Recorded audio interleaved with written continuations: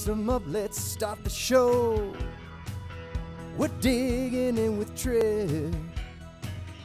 We're digging in with Tripp.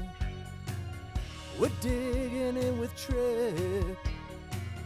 We're digging in with Tripp. We're digging in with Tripp today. Yeah.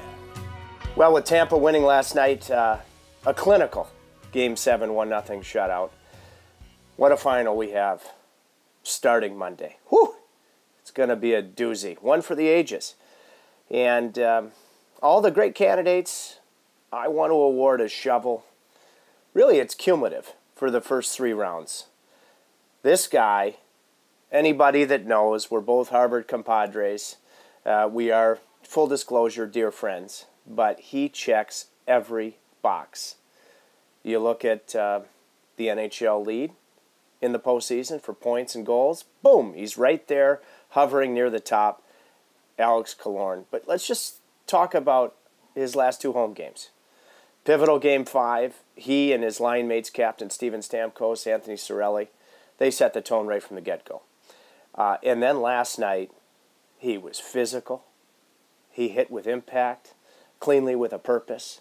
Uh, it was his unselfish change uh, that led to Yanni Gourde, shorthanded, starting his shift on time and scoring the only goal in the hockey game. And then, uh, as Semyon Varlamov, the New York Islanders' fine goalie, had been pulled, did you see the heavy lifting that Alex the Killer Killorn did below the goal line to ensure the victory, 200 feet away from his net and his uh, stellar goalie, Andrei Vasilevskiy?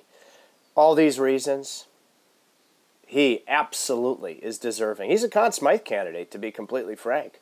Uh, so he gets, through three rounds, my dig in shovel. We're going to talk to him momentarily, thanks to the great people, our long time now presenting sponsor, Great Dane Trailers, greatdane.com. Uh, speaking of heavy lifting, uh, the finest, the most sterling trailer manufacturer uh, in North America, bar none. GreatDane.com. Family owned, family created way back when in 1900. Always on the front lines of engineering innovation. Uh, any trailer needs you have, Great Dane hits it out of the park. Also, digintrip.com. We have a beautiful new huge Caniac uh, t shirt. It's a customized version. You're going to want to check that out. And our ever expanding merchandise line at digintrip.com. Without further ado, boy, am I very honored to. The shovel is being printed. It's on its way to Alex the Killer Killorn. Grew up a Montreal Canadian fan, and now he will play against the team he grew up watching. And boy, he's going to be a load to deal with come game one, Monday night. What a final it's going to be. You want to talk about mental toughness, drive. Nothing's ever been handed to him. Very pleased now to award my shovel to Alex Killorn. Killer, I'm so proud of you. But you know what? Like the way you play the game, let's cut right to the chase. You know, for a mature Stanley Cup championship team looking for your second, what's the locker room like right before uh, you hit the ice for a, a, game seven like last night? Well, you know what? It, there was definitely a calm to the room that, um, and I think that's because we're a team that's been in a few game sevens, but um, pretty pretty we understand what this group is capable of doing, and we knew that there was definitely a calm within the group that uh, if we went out and played our game the way we could play, we knew we could play. We think we we liked our odds. So um, leading up to the game, I know there was the night the night before pretty nervous coming to the game nervous, but once I got to the arena with all the guys, um, there was definitely a, a, a calm for sure. You, because you and I have a tendency to talk on game day. Uh, I can tell you're not a superstitious cat. Um, I want to ask you about one particular guy because I think you, all your brothers on the team. I think you and Pat Maroon are particularly close to me. Go, I love this guy. You know, he's looking for his third Stanley Cup uh, ring consecutively. Does he or does anybody else, when it's calm in the room, killer, crack a joke? Oh, for sure. I think Pat is definitely one of those guys that uh, likes to keep the locker room loose. He doesn't want things to be too tense. People that know him know he's he's kind of a jokester. Um, you know, it's nice to have that balance because there's obviously guys that like to be focused and dialed in. But you know, to have a guy that's willing to keep things loose, um, especially in tense situations, I think is invaluable to a team. And Pat Maroon, you know, when you talk about the ultimate glue guy, um, mm-hmm. he, he would say that about himself, and he's willing to stand up for his teammates, protect his teammates. I know last night he was patrolling the red line, making sure you know um, they knew what they were going to be getting uh, that night. So great guy, great team guy. You know, he has a heck of a set of hands, in my opinion, too. He does. Uh, he really does. Below the goal line, created a couple of great A's. Your fourth line was excellent last night. Now, before we get to your special team partner, I, you know, and I don't want to get too Irish on you because my mom's right upstairs and she criticizes me for getting too Irish all the time. But you know, you one of the reasons you're getting the shovel is nothing's ever been handed to you. You prove it over and over again. The bigger the game, the better you play. If there's any young aspiring hockey player that wants to locate self belief in his or her abilities, Killer, what what things would you make sure to emphasize to that young boy or girl? You know, it's difficult because a lot of a lot of people when they're looking to build teams, they look for for big time players and, and players that rise to the occasion. And I think when you look at our team, you got guys like Brayden Point, um, Cirelli, who's always been a guy who's been able to score big goals, whether you go back to his junior career or even last year scoring the game winner in overtime against the Islanders. You think about Hedman, Kucherov. These are uh, Vasilevskiy is has had a shutout in all the last uh, four of, of our elimination games. I think these are just big time players, and um, when you talk to kids, it, it, it's tough, but it's a process. You know, I don't think everyone's born with that with that gene, but over time, if you work hard enough um, and you get put in these situations in big time games, you could kind of develop to be a player like that. But I do think some of it is some guys are just born with with, with that gamer mentality, and um, we definitely have a couple of those guys in our team. I think you have an abundance of them. Uh, Vasilevskiy, uh, tell me about him uh, in terms of his personality. Obviously, all these shutouts and elimination games, he always bouncing back from a rare loss. I, I, I, you know, as a former goaltender, not a very good one. I can admire him in a lot of ways, mechanically, physically. What makes him special mentally? Well, you know what, Vasilevskiy. When I when I you know I've played with some pretty competitive guys. You know, Marty St. Louis was definitely a huge competitor. But I, I think when I think about the the biggest competitor, the most competitive guy I've ever played with, it, it has to be Vasilevskiy. He's the guy that when you score him on, on him in practice, he's shooting pucks at your head because he's that angry about you scoring in practice. Um, you know, when you talk about hard work, I know when he first got here, I don't even think he had a TV for the first three years because he was just at the arena or stretching in in his room. And a lot of people, I think, say things like that about players, but he actually lives it um, competitive guy. I, I, was actually just with him this morning. Uh, but when I say competitive, I, even after the game last night, they were talking about Carey Price, and I could tell in his head he, he, he was getting a little fired up. And you love to see that in a goalie. And I think the greatest part about him is, you know what, he, he may be the best goalie in the world, and not every goalie is going to win every single game or have a shutout. But whenever he does not have a shutout or have a great game, he always comes back with an even better one. And that's huge we obviously had the shutout, and you, in my view, I was analyzing the game, critical role on the only goal. Ryan McDonagh, who is, I mean, a true horse right now, does the heavy lifting on the penalty kill, and it's you who makes the change for Yanni Gourde. You know, you always desire to leave a guy coming on the ice in a position to succeed, and you did that for Yanni. What do you remember about the change? Because yeah, it was critical. Well, first off, you talked about Ryan McDonagh, and I think I, would have to say something about him. Um, someone that definitely goes, I don't want to say unnoticed, but a little bit under the radar when you have certain stars on our team like we do. But when you talk about guys that are um, pivotal to our team, guys that block shots, um, make huge plays that kind of go unnoticed and aren't on the highlight package every night. Ryan McDonagh is that, and in the locker room, huge leader for us. Um, really just happy to be a guy that I've played with for the past couple years and become friends with. But um, he makes that whole play happen. And for for me, I had been on just for for I don't know how long, but I figured Mac made a great play to get me the puck. I could have dumped it in. I saw Cirelli still had some jump, so I wanted to give him the puck. Um, not thinking anything of it, went for a change because I know once Yanni Gourde comes in, he can really help with the forecheck. He's kind of an energizer bunny. Um, mm-hmm. But uh, once he got on the ice, you know, Cirelli makes a great play on the power play. I know the Islanders, they haven't given up, I don't think a PK goal the entire year. I saw a stat because um, they do play so well defensively, but Cirelli was able to find a hole. Um, and, and, like I said, like on and off the stick from Yanni Gourde, you know, moving goalies have holes. And um, I was happy he got it on off the stick and huge relief. I didn't get a plus though. That sucked, but. Well, sure deserved it. Okay, so I'm just kidding. No, but you did. Hey, listen, the bottom. I, I should be your Jerry Maguire, but at, at, at, the end of the day, killer. Uh, NBC showed a great reaction of your bench, and I didn't look at you closely because you've just finished your shift with a purpose. Oh, I was gassed. You're getting your heart rate. Did, did you see it? Did you see it happen? Or I, I, didn't see it happen. Um, I just got off the ice. I was trying to catch my breath, and then you know it happened so quickly. So I, I didn't actually see it. I was kind of catching my breath.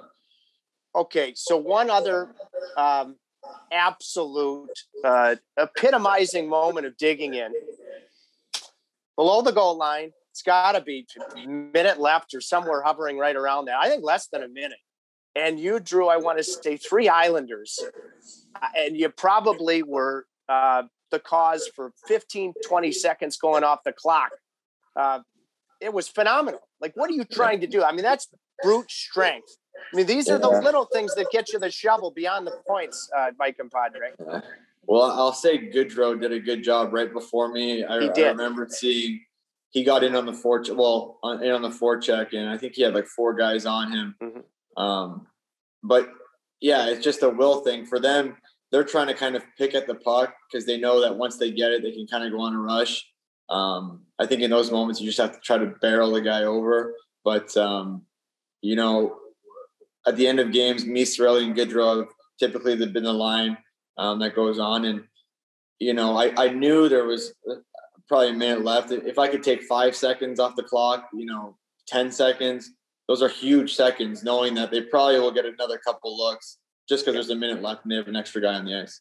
Yeah, I didn't travel this year. No broadcasters did. And obviously, I called the games remotely in the second round, you and the Hurricanes. Last night seemed to be particularly loud in the building. Is that accurate? Yeah, I think the the Tampa fans wanted to to, to outdo the Islander fans. It seemed like because in my nine years uh, being in Tampa, playing in some pretty big games. You know, we've played a Game Seven game against Washington uh, at home. You know, Stanley Cup Finals against Chicago. That was definitely the, the loudest I've ever heard the arena by far. It was awesome it, it really seemed. I'm glad to hear you validate uh, that. Um, how, what's the biggest, aside from the obvious things? You win your first Stanley Cup in the bubble, first Toronto, and then venturing out to Edmonton to beat Dallas.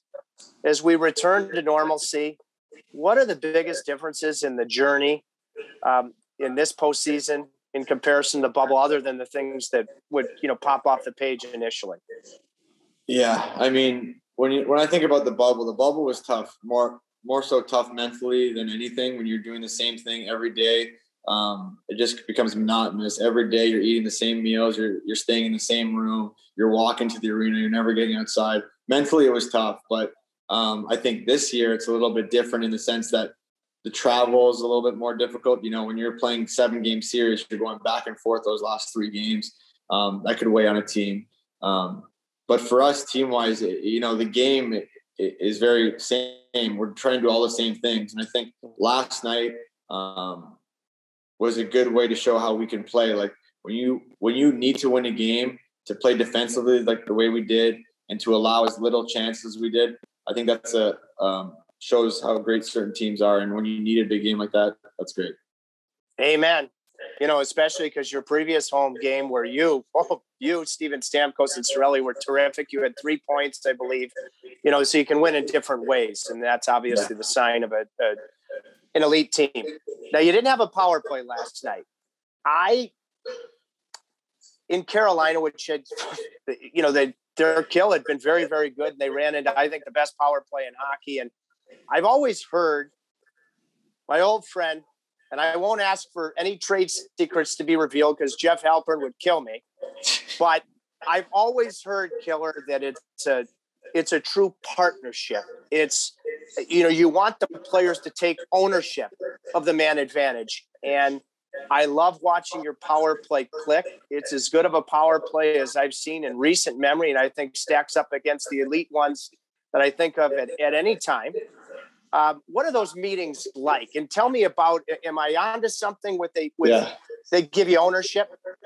For sure. And I think it, it probably varies from team to team, but when you have certain guys like Kucherov, Stamkos, Hedman, um, guys that have been in the league so long, Kucherov, who studies tape uh, so much, like, you know, after, before, and after the game.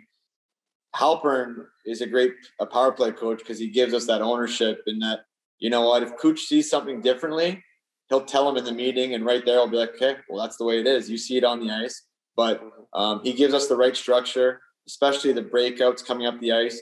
That's things that players don't think of as much in zone. Those are things we kind of try to break down, um, especially Cooch. So I think it's great when you and Mar- I remember when Marty St. Louis was here, he he pretty much ran the power play meetings. Um, so you want to have players have that ownership because they're the ones that are out there seeing it. So, um, but he's been great, helping.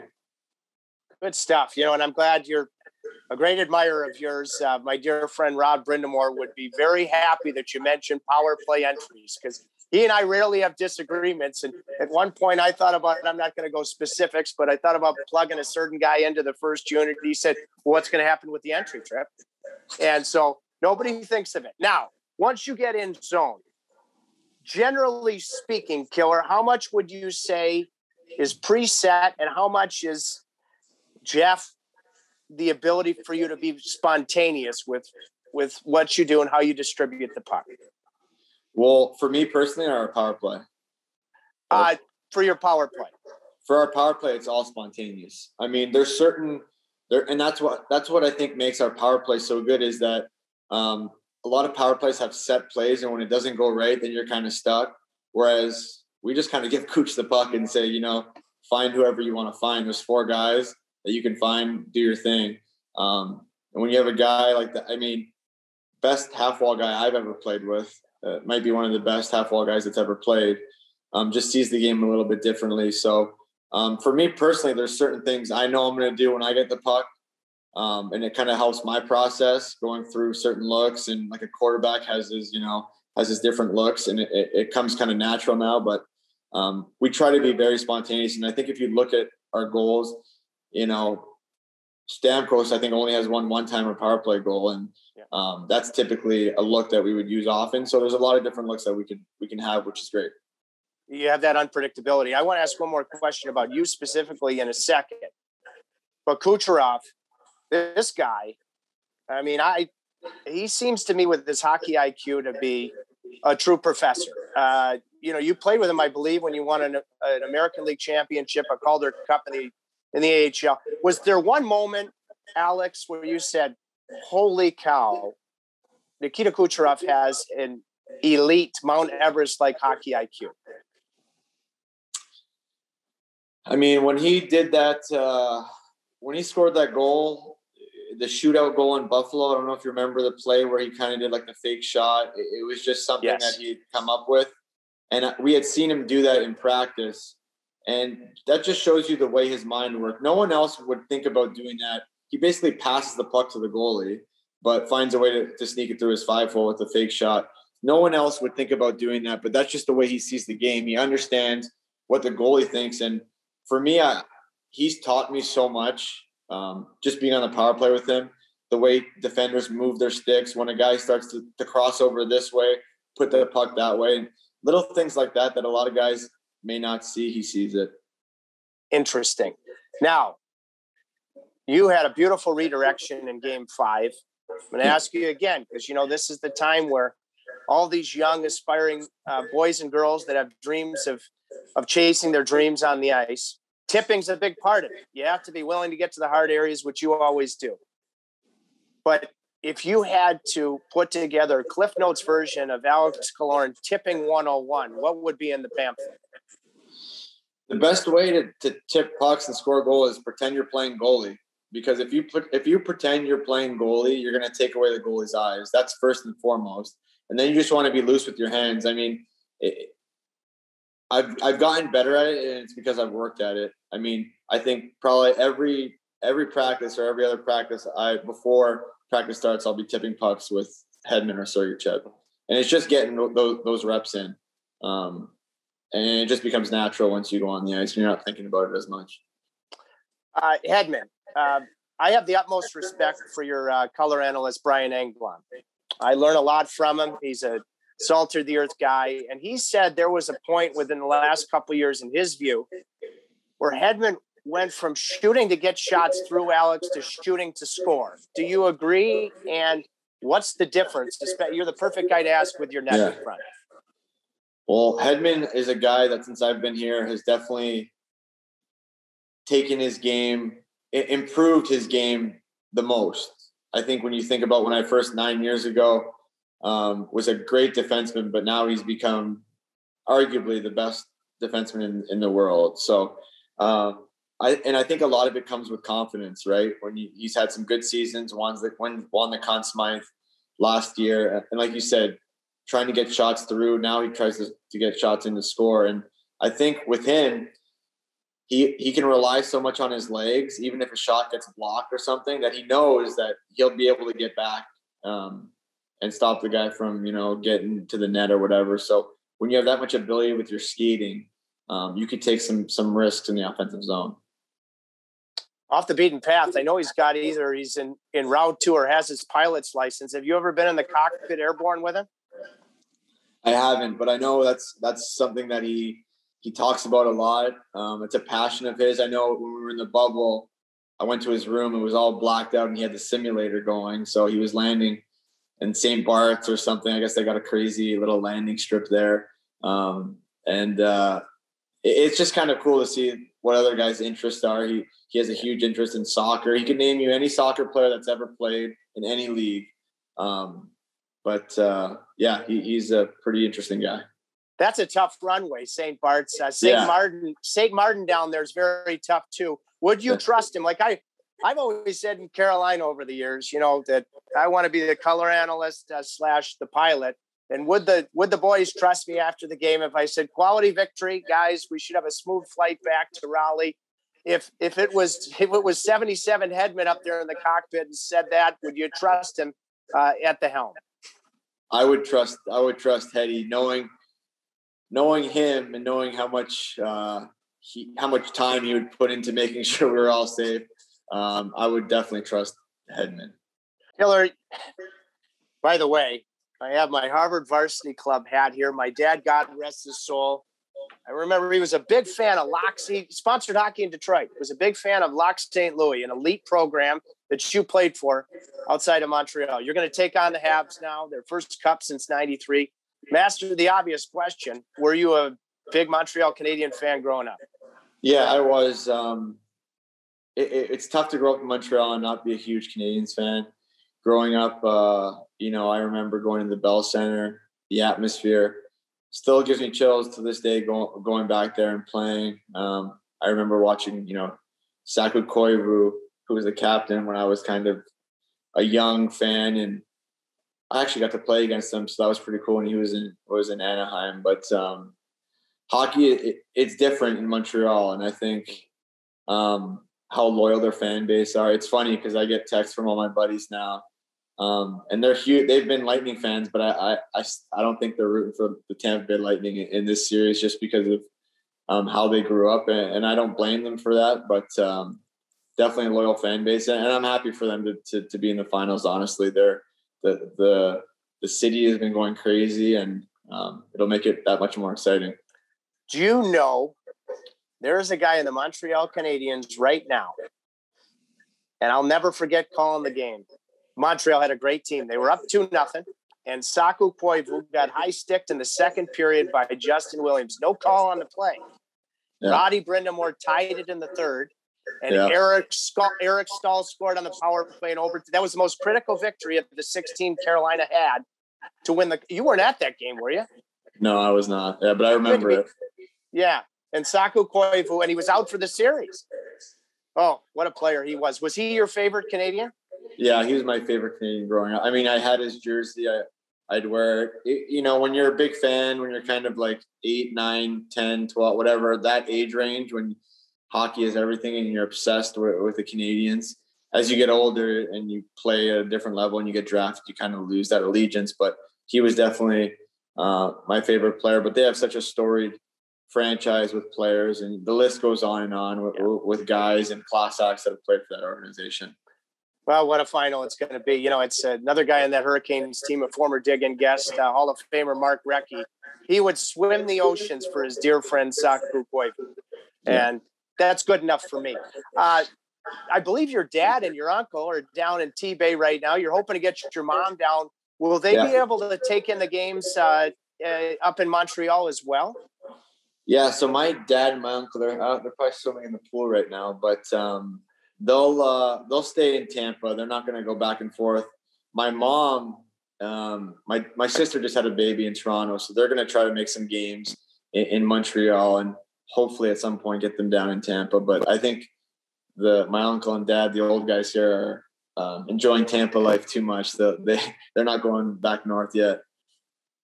Hopefully there hopefully there are no speedos in that Killorn pool. Congratulations to your sister, boy or girl? Uh, girl. Name? Um, Olivia. Great name. Yeah. Um, okay. Uh, I am. Uh, I'm going to send you on your way on this Saturday, but I did see something recently, Doc Talk, which is uh, through the stratosphere, just an astoundingly uh, good podcast uh, that you started, what, maybe 15 months ago, ballpark, right yeah. around then? Yeah. Uh, okay. So, you know, you, you got to know uh, Super Bowl champion Rob Gronkowski, Tom Brady. First of all, I saw you had Gronkowski on the ice as a goaltender. What kind of goalie is?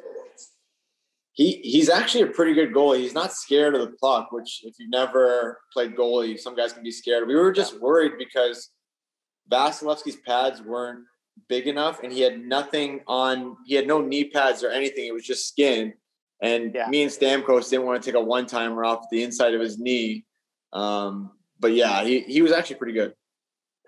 Do you because you become not only friendly with Gronk but Tom Brady, um, do you ever confer with those guys about um, the mental approach? Because that's even though sports are different, that's you know that's something that the, the mental part of it is the difference maker in whatever sport you play. Yeah, I mean, I talked to Gronk quickly about it. He's he's a very you know not like a t- very serious guy in the sense that he's kind of very loose all the time, but um, you can tell when it's game time for him, he, he turns on the switch and, and he's ready to play. Um, but I wouldn't say we talk in depth about about those kind of things. We're kind of just you know hanging out, talking other stuff other than sports.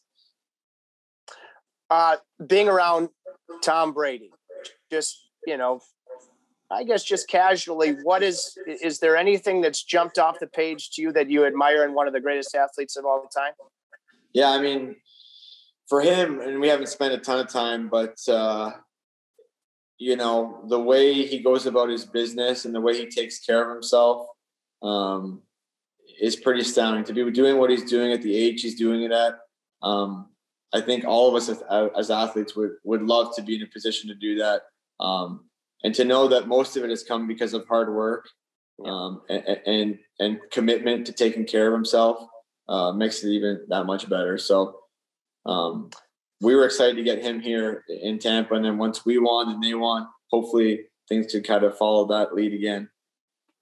Yeah, I think that every athlete on planet Earth wants to somehow through osmosis get to the area and start elevating their game.